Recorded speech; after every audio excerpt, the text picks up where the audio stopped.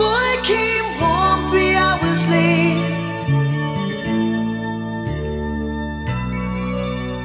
They shot him down at her front gate.